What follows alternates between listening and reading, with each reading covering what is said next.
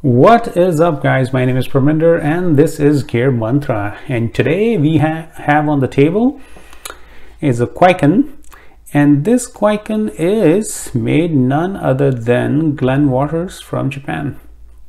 And you guys saw in the past as well I shared one of his knives uh, on the channel as well. So this particular model is his Kwaiken right here as it says and this is a prototype version so I was lucky enough to um, get a prototype version and I'll share where exactly it says. Usually on uh, Glenn knives, you will always see uh, which year it is made and all that stuff. But since it is a Kwaiken, I'll show you, sorry, since it is a prototype, I'll show you where it is written. So let's open this. Look at that flick right here. So prototype in 2017. Okay, look at this beauty. So peeled um, titanium, peeled orange titanium uh, finish on the bolsters with carbon fiber on the handle itself and this is M390 blade solid lockup and close is smooth. There you go. I like the grind on this one. This is the hand rub finish. Compound grind at the edge. Very nice. Look at that. Grind.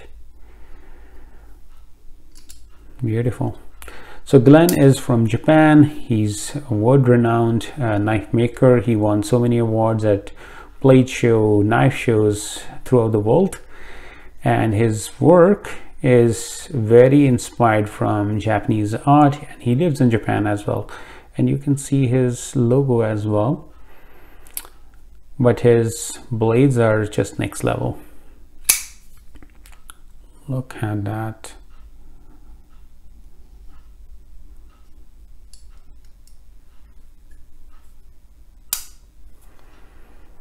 Smooth shut. Nice backspacer. It is it can be used as a glass breaker as well like the pointy thing. But it's a very slim sleek design if you ask me. Yeah it can be like a perfect uh, day to day I, I like the sleek knives or small blades I will say. This is that's uh, this definitely fits in that category. Nice one I'm going to share uh, in the description where you guys can buy these knives um, about the maker itself in the description. So please subscribe to the channel. Please um, uh, like this video. If you have any comments please definitely share that as well. And my name is Parminder you guys are watching Gear Mantra. And that is all for today guys. Have a great day